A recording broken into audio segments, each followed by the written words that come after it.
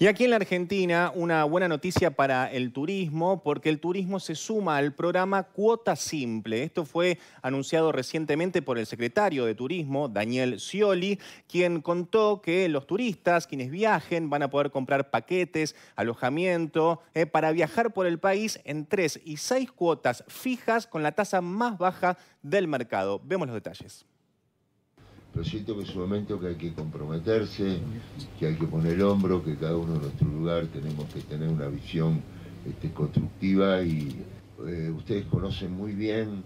mi convicción que con el sector privado trabajando codo a codo vamos a poder hacer grandes cosas. Y les voy a contar este, detalladamente en qué consiste este programa. Van a ser tres y seis cuotas fijas para que se puedan comprar con las tarjetas de crédito eh, durante 90 días y también lo que van a poder eh, tener como novedad es que no tiene límite, no tiene cupo. En este programa, ¿quiénes van a poder ser los beneficiarios? Son transporte,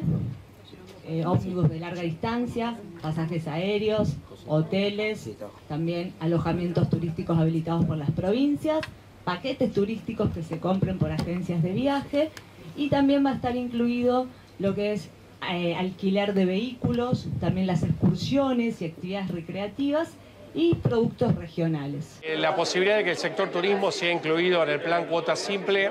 es muy relevante para la actividad turística, es una actividad que reacciona rápidamente a los incentivos a la demanda y sobre todo para todo el sector de la hotelería, la gastronomía, el transporte que tiene que ver con la actividad turística es central para estos meses que vienen, donde sin duda hay una situación de retracción económica y necesitamos de alguna manera incentivar a que la gente siga viajando.